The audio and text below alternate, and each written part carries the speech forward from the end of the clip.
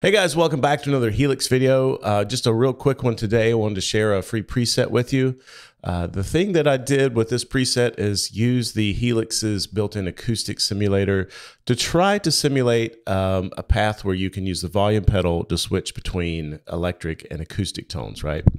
So um, as we see here in HX Edit, the top path is volume and amp block. I'm using the... Um, using the Cali Texas channel one. Cleanish version of that. Got a delay, compressor, reverb. You know, my usual stuff. Uh, the interesting thing here is I have the volume pedals set up on each to work in reverse so that in toe down, the path number two is muted and then um, toe up, path number one is muted. So basically, this lets you blend from one to the other. And when the volume pedal is in either position all the way, then basically you know you're getting one path the other path is muted.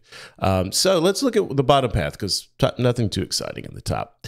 Um, i put a looper in here and i'm going to leave it in here for a reason. That reason is because your guitar is going to be different than my guitar. You will almost certainly need to tweak the eq to get the best out of it for your guitar. Um, i'm using basically a strat neck sound so that's what I've EQ'd for. The nice thing about the looper strum a few chords, loop it, put the guitar away, and then tweak your EQ settings. And that's going to be probably the fastest way to get the tones that are going to work best for you. Um, so here we have the acoustic sim pedal. Which is under the EQ section. Um, it does a pretty good job. No one's going to believe you're playing a Martin, but that's okay. This is basically a patch that would be good for live use. If you need to do an acoustic part, it'll get you through. Um, the parametric EQ I basically just set up to try to accentuate certain frequencies to make it sound more acoustic while taking out certain frequencies that were offensive frequencies to the ear. Um, I have another 10 band in here just boosting up the 8K. I was just really experimenting with this. I'll leave it in as a way for you to fine tune uh, your tones based on how it sounds with your guitar. Um, compressor, uh, I do have a chorus on here because chorus sounds nice on acoustic, and then a reverb. So let's uh, let's just hear what it sounds like. Uh, first, I'll just play you the bass line, electric side, the top path. You know, just a pretty standard uh, electric guitar sound, clean. Uh, I'm going to rock the pedal back. So now we're hearing the same guitar, the same pickup, but we're hearing it run through the acoustic simulator.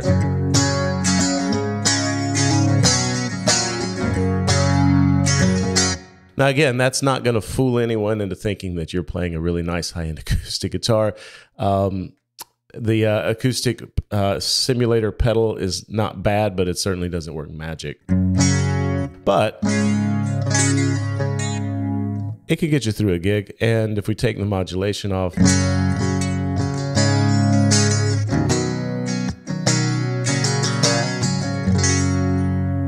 And I think for a gig that that would work, quite honestly. Um, I've heard some some pretty bad sounding electric acoustic guitars with cheap piezo bridges in them. So um, I've definitely heard some real acoustic guitars sound pretty bad live. So all in all, I think that um, this is definitely workable. Um, so, and then with the volume pedal, you can blend. You can.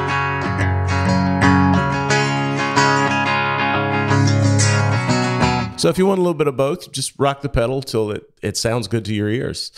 Um, and it's again, it's a good way if you have a song where you're you're needing to do an acoustic intro or an acoustic breakdown, but for the most part, you need to just be a, as you know an electric guitar player. Uh, this is a nice little little uh, workaround to keep you from having to either switch guitars or have the acoustic on the stand, like you know you see some people do.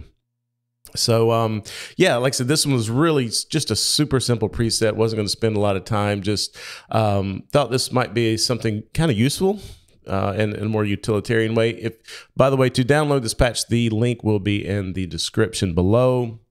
Feel free to download it, try it. I, I like I said on the top, your guitar is going to be different than mine, so very likely you'll need to tweak the uh, the EQs a bit. I recommend starting on the parametric.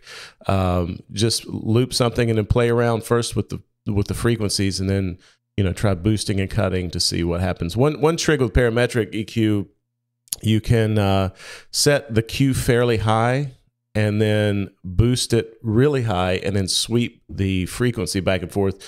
And whenever you hear something really unpleasant, you know that's where you need to start cutting. So that's one way to kind of find uh, frequencies that that are not mm, not desirable. Um, I believe I do have another video on my channel about how to use a parametric EQ to, to dial in like an acoustic tone. So um, uh, we'll probably try to link that in the uh, in this video. You should see it at the end screen most likely. So anyway, that's it. Pretty straightforward. Uh, hope you get something out of this. Let me know what you guys think of the preset, or if, if you have other ways that you accomplish the same thing. I'd love to hear about it. Um, as always, please like, comment, subscribe. If um, if you are a Helix or a Variax user, I do have links to presets that I offer on the Line Six Marketplace in the again in the description below you'll find links to all that stuff as well as the gear i use. Um, so if you check that out it's always a great way to support the channel. Thanks as always for checking out the video and we'll see you next time